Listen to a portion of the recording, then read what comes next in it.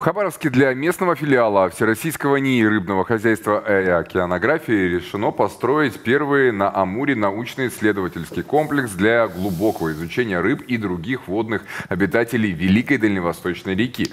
Помимо оборудованных по последнему слову технику лабораторий, хабаровские ихтиологи рассчитывают получить для своих исследований новейшее научно-исследовательское судно.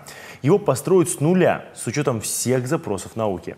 Сейчас ученые работают в экспедициях на приспособленных судах. Уже сейчас специалисты в НИРО используют в своей работе беспилотники, современное оборудование. Появление специализированных научно-исследовательского комплекса и судна позволит проводить исследования глубже, делать прогнозы точнее, лучше понимать природные процессы, которые происходят в бассейне Амура. Подробнее на эту тему поговорим с нашим гостем в студии Денис Котюк, руководитель Хабаровского филиала Всероссийского научно-исследовательского института рыбного хозяйства и океанографии. Доброе утро. Доброе утро. Доброе утро. Вот в НИРО. Что вообще скрывается за этой аббревиатурой и чем занимаетесь вы?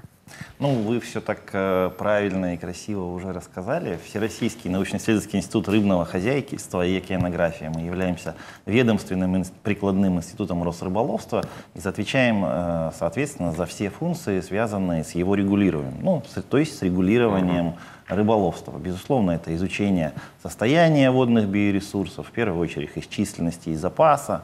И одной из основных мер регулирования рыболовства – осуществляется через установление объемов, то есть так называемых квот. Вот uh-huh. они по-разному называются.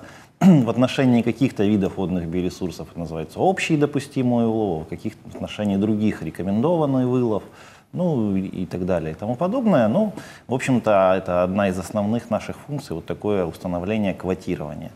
Но на этом все не останавливается. Есть еще и другие меры через установление ограничений, например, там, в правилах рыболовства, ограничения uh-huh. через орудия добычи, районы добычи и так далее. Но Помимо я же так этого, понимаю, что... Же еще... А я прошу прощения, что для того, чтобы говорить, можно рыбачить или нельзя рыбачить, нельзя же просто огульно сказать. В этом году нет. Нужно опираться на какие-то научные данные. И Безусловно. вот откуда-то вы их берете. Безусловно. Вот это все, все совершенно правильно. Причем не просто какие-то научные данные. Эти данные должны быть многолетние.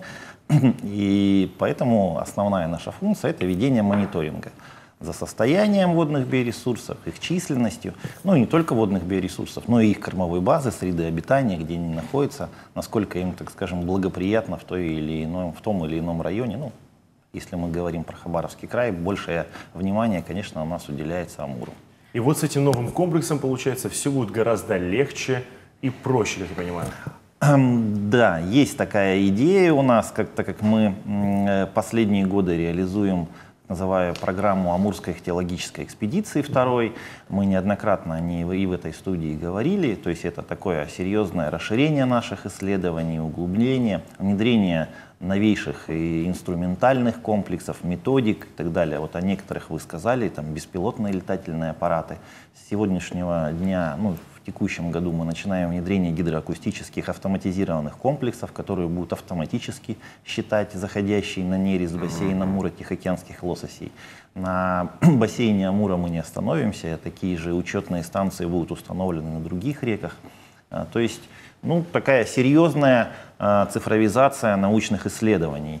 Ну, наверное, можно сравнить по типу, это, конечно, мечта, если мы приблизимся, допустим, к сети наблюдательных пунктов Росгидромета, ну, вот такая сеть наблюдательных пунктов для нас это серьезная задача.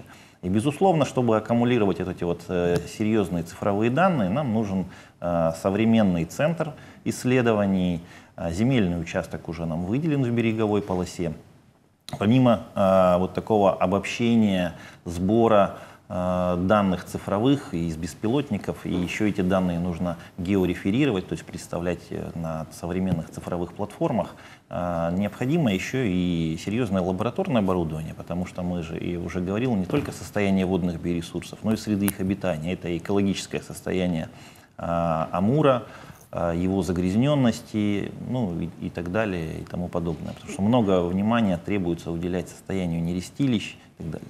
Одно из направлений э, серьезное – это, конечно, развитие аквакультуры. У нас есть несколько рыбоводных заводов, и государственных, и частных.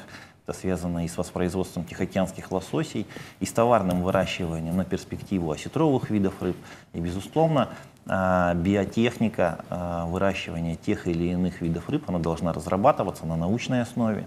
Есть серьезные направления по взаимодействию а, с нашими европейскими коллегами.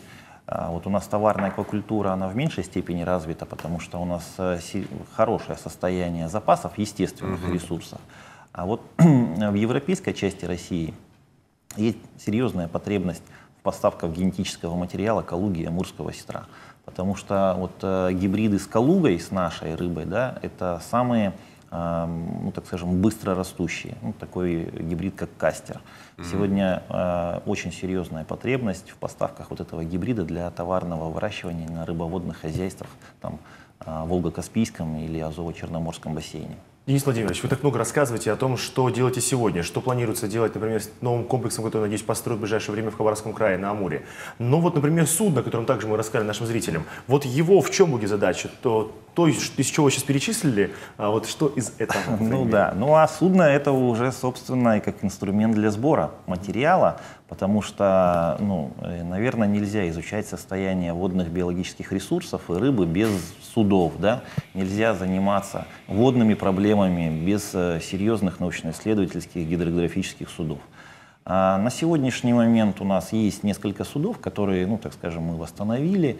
В НИРО и Росрыболовство серьезно финансируют это, эти работы.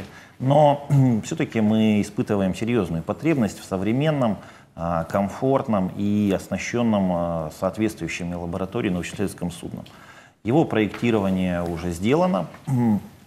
А, это такой тип судов нашим институтом разработан. Первая постройка идет для Байкала, уже находится на, ну, так скажем, на стадии более 50-60% оно построено. Mm-hmm. Это почему для Байкала? Потому что мы как раз говорим о вот этой федеральной программе, которая называется «Оздоровление водных объектов Российской Федерации». И первые водные объекты, которые были туда включены, это озеро Байкал и река Волга. В последующем уже по итогам отдельных мероприятий, в том числе, которые проходили у нас в Хабаровске, а, вице-премьером Викторией Валерьевной Брамченко была в эту программу включена и река Амур. Вот, собственно, по вот эти мероприятия, о которых мы сегодня говорим, они будут включены именно вот Э, федеральный проект, который курируется вице-премьером и Министерством природных ресурсов. Ну а научно-исследовательское судно, как мы уже сказали, чем наукоемкий у нас э, сбор материала, серьезнее приборы, точнее мы через определенное время сможем точнее прогнозировать и э, численность возвращающихся поколений тихоокеанских лососей и других водных биоресурсов. Ну и не только в Амуре на самом деле. А, такое, судно такого класса, а это серьезный класс судна, порядка 32 метров длину, mm-hmm. а, с несколькими палубами, с оборудованием лабораториями, Э, которая будет вмещать не просто там один, два, три научных сотрудника, а целую научную группу до 15 человек и разного профиля, и гидрологи, и ихтиологи, и гидробиологи, и другие специалисты, которых мы э, будем привлекать, мы уже сейчас привлекаем и из э, Москвы, из Центрального института, и из других регионов. К нам приезжают работать и из Якутии, э, ребята на полевой сезон, и большая программа у нас привлечения Э, нового поколения студентов, э, хорошая традиция у нас с Пермским университетом, ну и с нашим дальневосточным Дальрыбтузом, который находится в Владивостоке. Поэтому стараемся развиваться по всем направлениям, не mm-hmm. только а, в рамках развития нашей научной инфраструктуры, но и в рамках э, кадрового потенциала молодых специалистов и ученых. Большие амбициозные планы, конечно. Дай бог им всем осуществиться. Вернее, мы уверены в том, что все получится у вас в нашем регионе. Спасибо большое. У нас в гостях был Денис Кацюк, руководитель Хабаровского филиала Всероссийского научно-исследовательского института рыбного хозяйства и океанографии.